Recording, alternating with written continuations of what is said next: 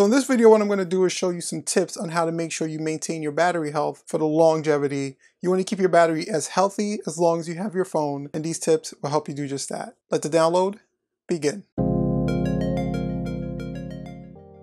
So if you're new here and you wanna learn how to use and troubleshoot your devices, plus some other cool tech stuff, we can help. All you need to do is hit that subscribe button and that bell for notifications so you don't miss when we release some cool, helpful content. So when it comes to lithium batteries, it's really just the nature of the beast that they're going to degrade over time with charging and draining and usage. It's just going to get worse and worse, but there are certain things you can actually do to maintain the health of your iPhone battery over the long haul. So one of the first things I want to show you how to do is check your battery health, and that's really easy. You're just going to go into the settings app on your iPhone, you're going to go into battery, and then you're going to go into battery health. In there, you'll be able to see the battery health of your phone and if your phone is being throttled, which means slowed down for the benefit of your battery by Apple, you'll be able to see that setting in here as well. So in order to maintain battery health, one of the first things you want to do, and I think I've said this in every single troubleshooting video I've placed on this channel, make sure that your operating system is as updated as possible. Even with iOS 13 being kind of buggy, you definitely want to upgrade your operating system eventually because they do put different power management options and power management patches within those operating systems to make your battery life better and better. It gives your battery the ability to use less power, consume less power, and thus last a lot longer than if you're running an old, outdated operating system. So I know a lot of you are probably still on iOS 12 because you don't want to upgrade to iOS 13. That's fine for now, but you definitely want to eventually upgrade because those particular battery settings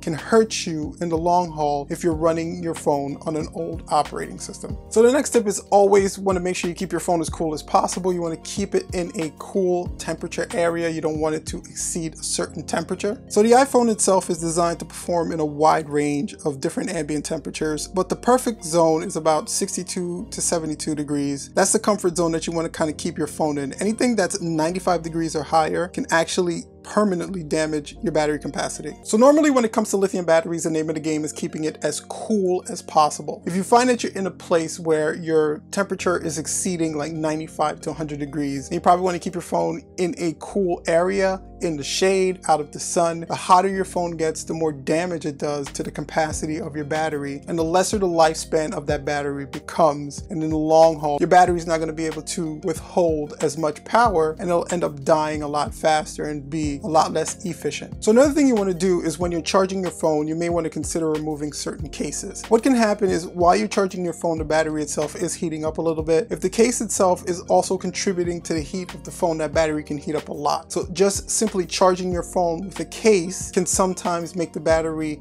overheat and that can also damage the battery itself. So if you have a heavy duty case or something that's really designed to protect your phone, you may want to consider just taking that case off while you're going through the charging process just to be on the safe and cautious side. And then you can just put the case back on once the charging is completed. Now let's say for some reason you want to store your phone for a couple of months or you're going away and you don't want to bring your phone with you, you want to keep it stored. What are some of the things you can do to preserve your battery while storing your phone to make sure when you come back your battery life didn't suffer because you stored your phone incorrectly? So when storing the phone there's two main factors you always want to consider the environment and the power that the phone is at when you power it down for storage. Again the same temperature model comes into play. You want to make sure you're storing your phone at a comfortable temperature. You don't want to be storing it in anywhere that exceeds 90 to 95 degrees and up. That can end up damaging the lithium battery inside the phone itself. Even though the phone is off, the environment will be heating the phone and causing damage to the phone itself. And you also don't want to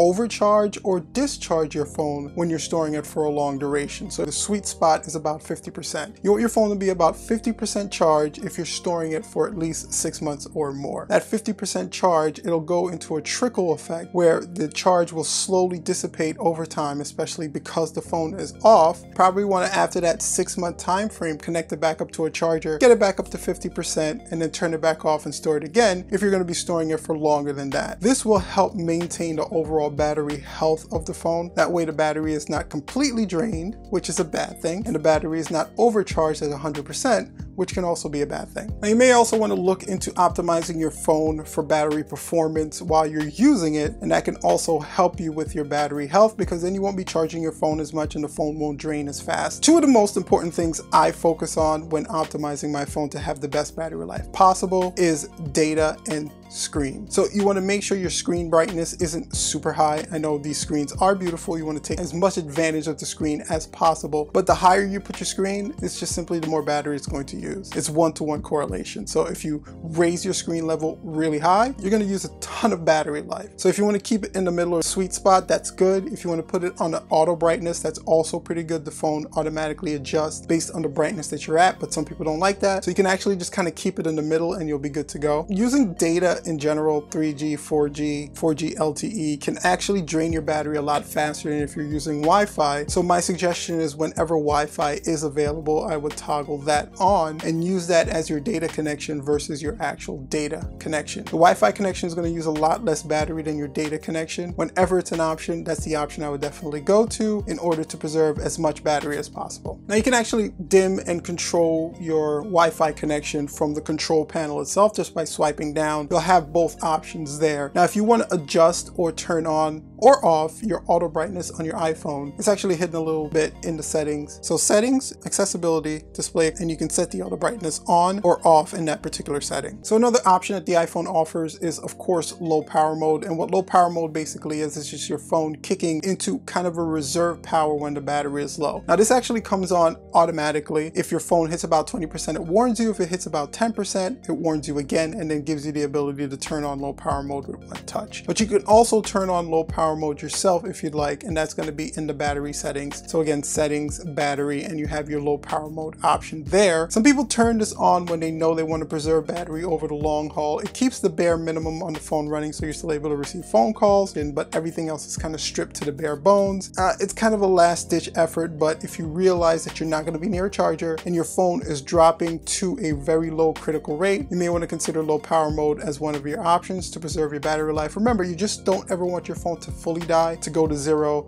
That's gonna be bad for the battery in the long haul. So another thing you wanna check is the background app refreshing. So this is apps trying to grab information while they're not launched on the screen itself. When you've closed the app out, sometimes it doesn't close out completely. What it does is continues to refresh in the background. This can use up a ton of battery based on how big the app is, how much data it's actually downloading, and how much information it's actually up updating. So you can actually turn this off. So you're going to go into settings, general, and background app refresh. And in there you can actually select if you want the app to refresh on Wi-Fi, Wi-Fi and data, or not at all. So you can actually choose which option. Again, always default to Wi-Fi. If you're on a Wi-Fi signal, you're using a lot less battery. So this can actually help you. And you're also using a lot less data. Maybe you're somebody who pays for a data plan and you don't need all that information being refreshed in the background. You can actually turn this off so it only updates on Wi-Fi so you're kind of saving on both ends. So some other quick tips you can do is turn off location-based services, and that's in settings again, privacy,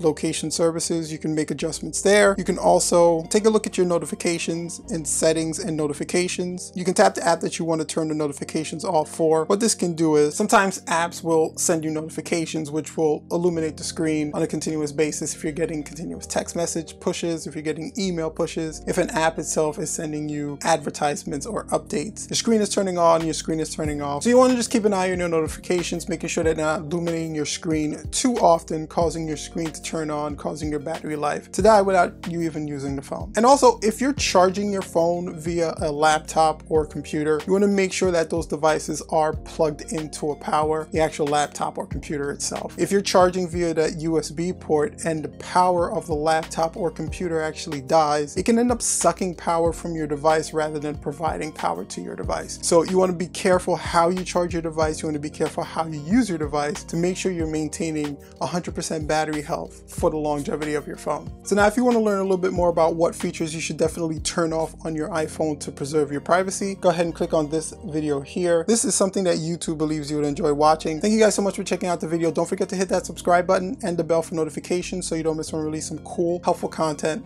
like this one. Until next time, guys. Peace.